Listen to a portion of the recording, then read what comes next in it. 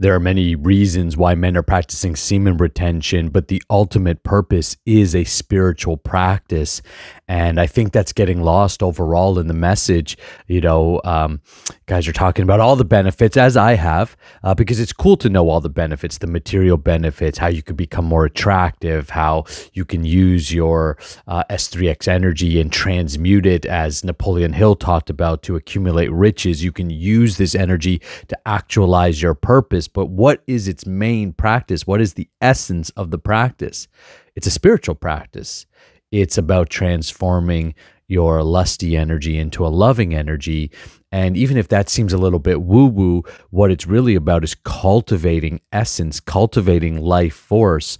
I just finished reading the Tao Te Ching, and the Tao Te Ching specifically talks about self cultivation or semen retention as one of the main practices to understanding the Tao. The Tao means the way, or ultimately their description of what they call in the Tao Te Ching heaven and nature understanding God. Now, in the Tao Te Ching, they never use the word God, they use the word the Tao. In different spiritual scriptures from around the world, the same descriptions of the way, the Tao, God, Krishna, Christ, Allah are all described as the source of everything. And that is the ultimate practice of semen retention. So, in this video, I'm going to share with you why semen retention will actually supercharge your worship and why worship is ultimately the way to connect with God and why men who practice semen retention will just ignite their worship and their ability to make that divine connection. Let's get into it.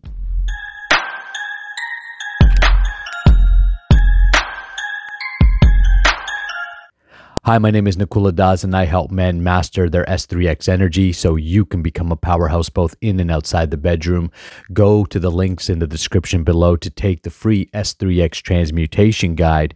And ultimately, if you're ready to take the next step and learn these practices of self cultivation, learn these practices of transmutation, and develop a deeper relationship with God then make sure you book some time on my calendar. Either you're going to connect with me or one of our success coaches that are going to help you learn about our training, answer your questions, and make sure it's a right fit for you.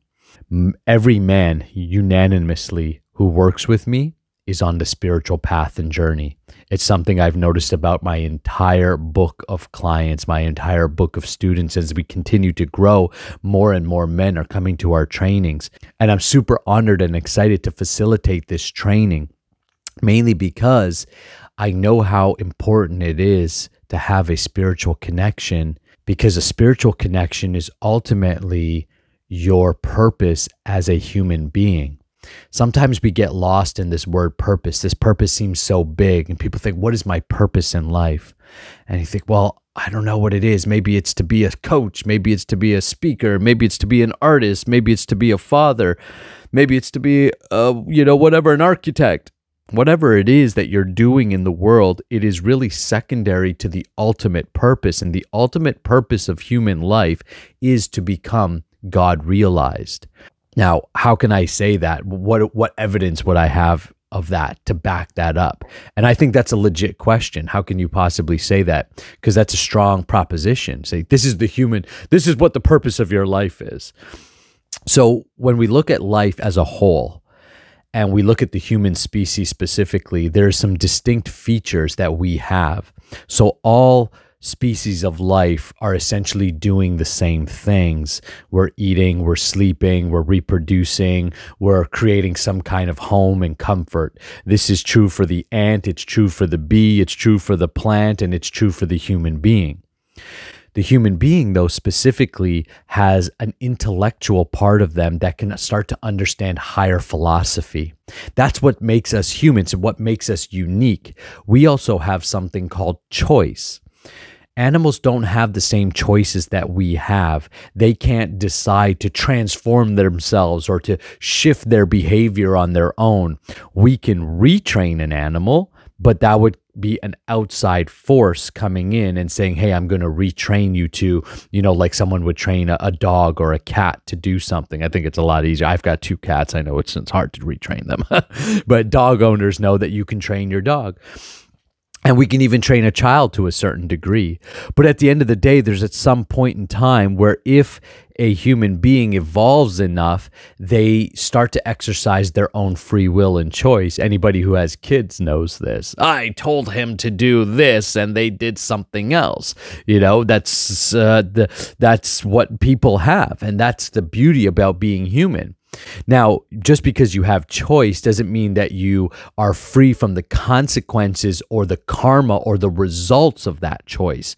So your choices um, are still governed by the laws of nature. Nobody escapes the laws of nature, but you can choose whether to obey those laws or not. You can choose whether you're going to, you know, buy a, a, specific type of car or another type of car. You have those types of choices and you have the choice of where you put your attention. So, for example, you're choosing right now to watch this video, to listen to these words. You can choose to move away as well. You could be investing your attention into something else.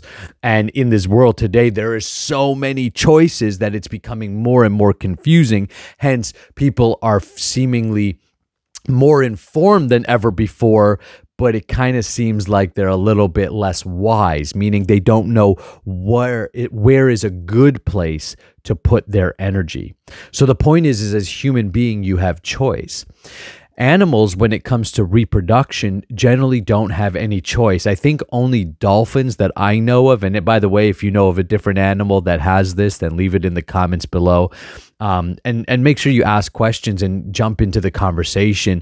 Uh, I'm open to hearing all different forms of worship and ways of looking at this practice. We've had some great discussions in the comments, and they inspire new videos and content. So please, you know, leave comments, ask questions, jump into the conversation. But essentially uh, animals, most animals, the only animal I know of other than the human species is dolphins that actually have S3X for pleasure.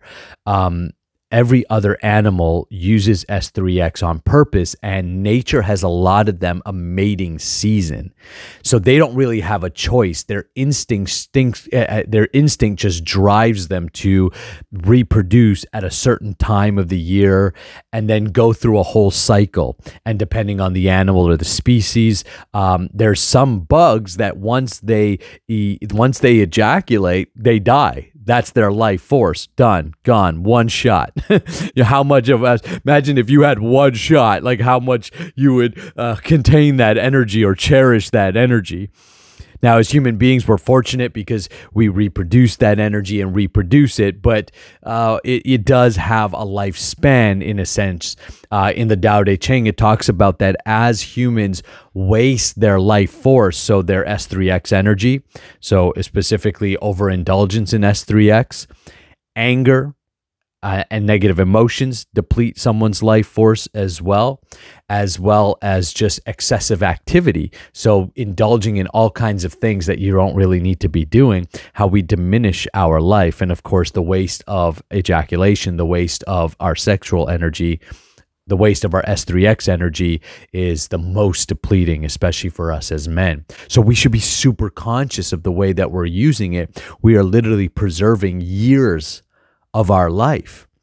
And guys who are choosing to just you know go at it every day or they're buying into the mainstream narrative that that's somehow healthy for you uh, they're unfortunately being led in a destructive way. They're being led to essentially castrate themselves make themselves docile and reduce years on their life when someone practices semen retention and they exercise the choice to retain, what ends up happening is you have to develop more self mastery. You have to con be confronted with your own urges, your own desires of a lower nature. You have to be confronted with the animal part of you, the flesh. That's why, for example, in uh, in the um, you know, in the Bhagavad Gita, when Arjuna asks Krishna, what leads men astray from knowing God? What leads men off the path of self realization, the purpose of human life?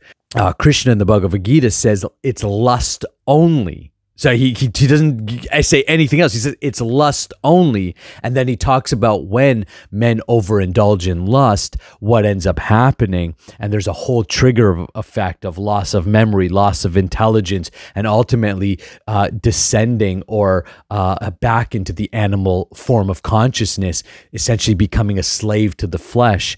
And I'm using the word flesh because that's language used in the Bible, where it talks about being a slave of your flesh or taming the passions of the flesh, meaning as a human being, we are able to rise above the passions of the flesh. Now, it doesn't say at any point that it's wrong, it's bad. Both the Bible and Bhagavad Gita both emphasize that S3X is not bad in itself. It's the misuse of S3X, just like money or anything else. You know, it's the misuse of it. You know, a perfect example is uh, marijuana, right? I, I know I, I put a post out on my Facebook talking about marijuana is one of these things, and I struggle with marijuana for years that diminished consciousness, that diminished life and potential. And I was amazed at how many people actually were trying to defend marijuana. No, it's got health benefits and you know it's good for you. And I'm like, well, hold on a sec. First of all, yes, can uh, cannabis or marijuana um, uh, uh, be used uh, to alleviate pain or in a context of health? Absolutely, it can. But if somebody is just smoking like the way I was smoking for pleasure, for fun, to check out or to deal with some hurt and pain that I had, then ultimately there's nothing medical about that.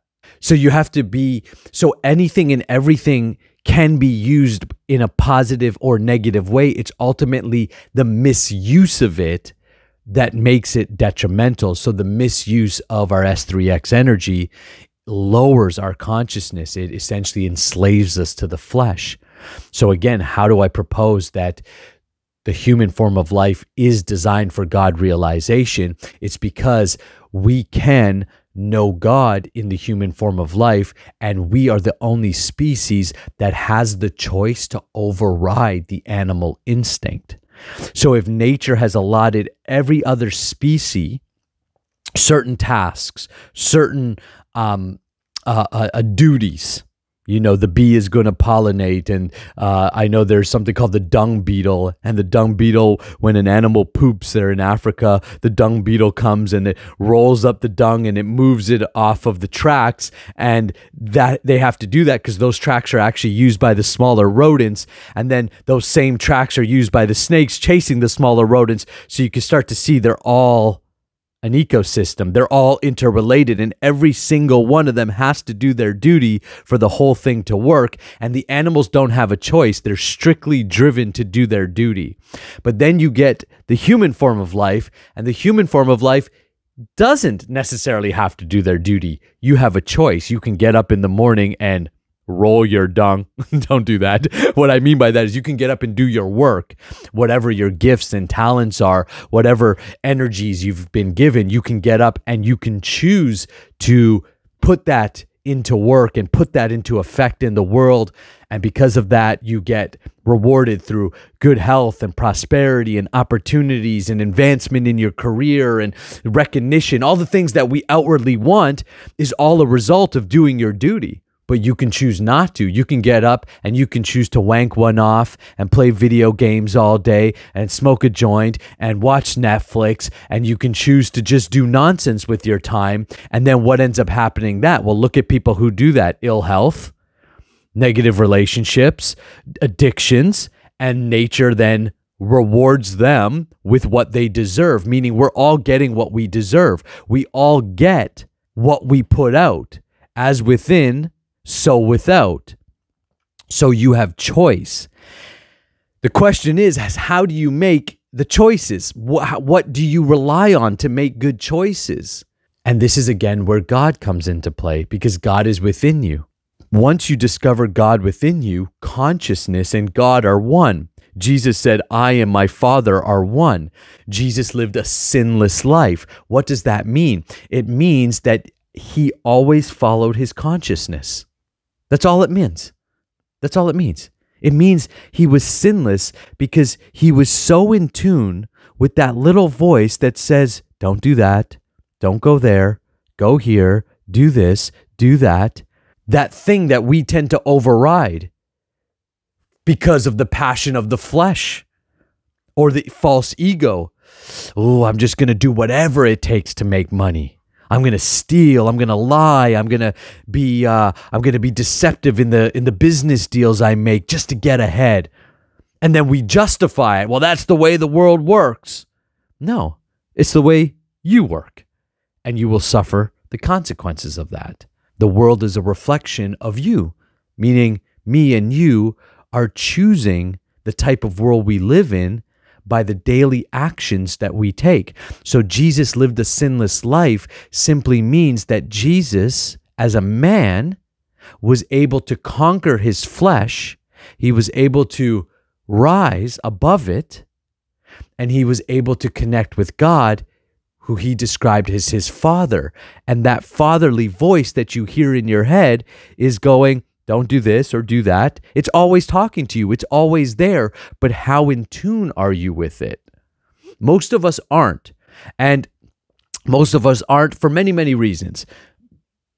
We can go like that could be like a whole other video. But the point is, is that if we're honest, we have to re- realize I'm not really in tune with that voice, or I hear it, but I've overridden it, if that's a word, I've I've overridden it so often that I can no longer hear it. I'm no longer sensitive to my own consciousness.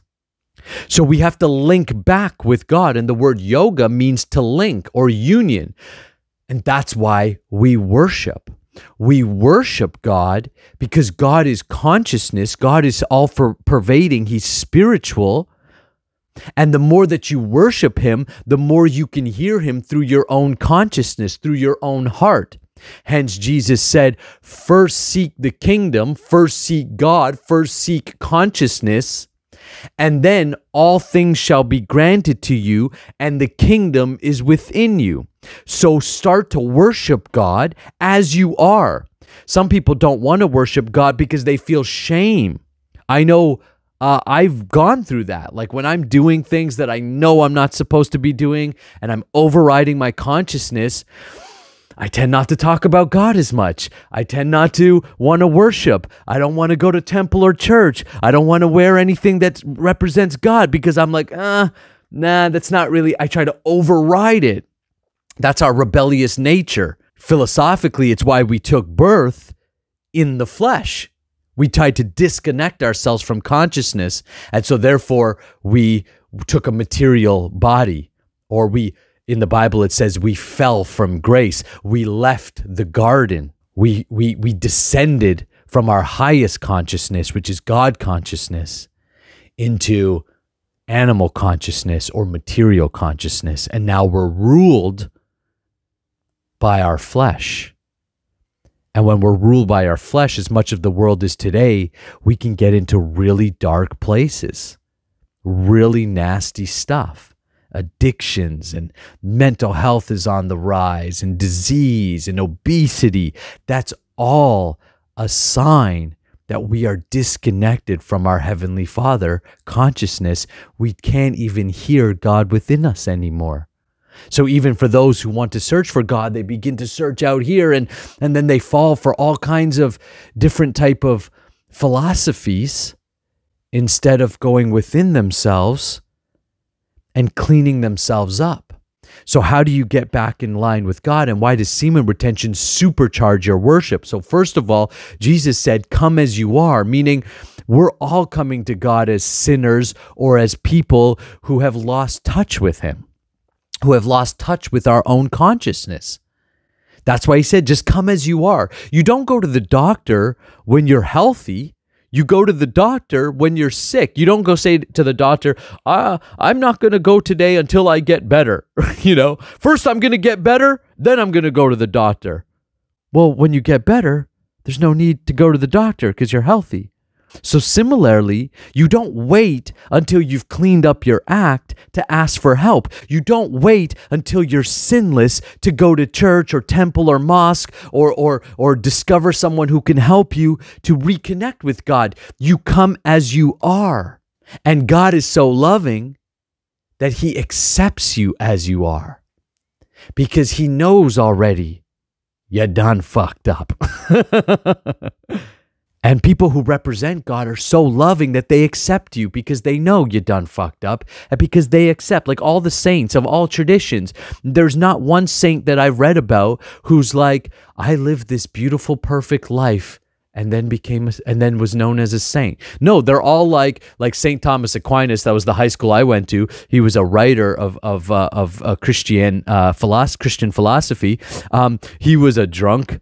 You know, so he was into the booze. Um, I'm pretty sure he was a womanizer. I know a few of the saints were big into, uh, you know, just like you know, sleeping around and and all the things that the world offers most saints are like that and then they reform their way because they discover God they go within themselves and they go, Hey, I don't want to live like this anymore. This is causing me way too much pain. And I want to live for something more pure, something bigger, something greater than me. And then they're able to do it because once they discover God within themselves, they discover so much joy, so much happiness. They discover that they're renewed in their spirit and their health and their vibrancy and abundance comes around. And they get so much joy from just serving people that they fall in love with God because they fall in love with consciousness. They're like, this consciousness is the way. It, it just leads me into the right ways. And it leads me to my path and destiny. And they walk fearlessly in that path. And they're faced with all kinds of opposition because this world, as Jesus said, this world does not love me because I am not of this world. If I was of this world, this world would love me. Because this world is the material world or a hellish world. This world, look at the people. Look at how people are acting. Look at the wars and the famine and the poverty. You don't think we have the resources to solve poverty? If we've got the resources to send billions of dollars to war, to go to war, it would take not even half of those resources to feed the planet, but we don't choose to do that. That is not a world ruled by God. That's why in the Bible it says this world is ruled by the prince of darkness. Your job is to get out of this world. Your job is to conquer this world. In the Tao Te Ching, it says, Be in the world, but not of the world. Jesus said the exact same thing. I am in this world, but not of this world. So as you grow closer and closer to God, you will look different than this world. You will think different, act different. You will go to different places. You will choose to do different things. And that's why it's a tougher path because you may question it along the way. I know I have. I'm like, but nobody else is doing this. Here I am trying to, you know, correct myself and straighten myself out, and nobody else is doing it. In fact, nobody values it. There's no recognition for it. In fact, some people even try to throw you astray. Ah, why are you doing that? They try to convince you using their intelligence, their intelligence or intellect to be like, no, you know, that's foolish. But I'm 100% convinced by my own experience that God is the way. Now, when you practice semen retention, the process of semen retention supercharges you. It cleans up your body. And that's the first way that you got to connect with God because God is within you. It's like it's the temple and the spirit is flowing through you. So if your conduit for the spirit, which is your body, is full of nasty food and drugs and alcohol and and and filled with nasty vibrations and